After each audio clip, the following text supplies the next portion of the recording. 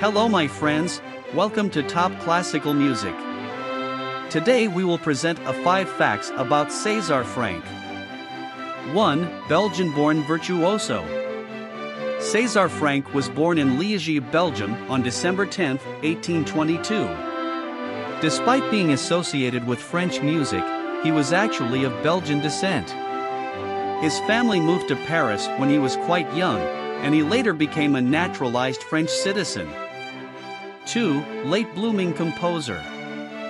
Franck's musical career didn't take off until later in life. He spent much of his early years as a virtuoso pianist and organist, performing and teaching. It wasn't until he was in his 40s that he gained recognition as a composer, particularly with his influential symphonic poem Le Chasseur Maudit in 1882.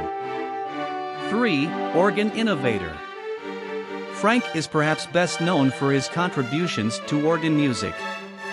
He was a significant figure in the development of the French symphonic organ style, blending the rich colors of the organ with orchestral techniques. His six pieces Pour Grand Orgue, six pieces for organ, and the monumental Trois pieces, three pieces, showcase his innovative approach to the instrument. 4. Masterful Teacher Franck was not only a composer but also a dedicated teacher. He held various teaching positions, including at the Paris Conservatoire.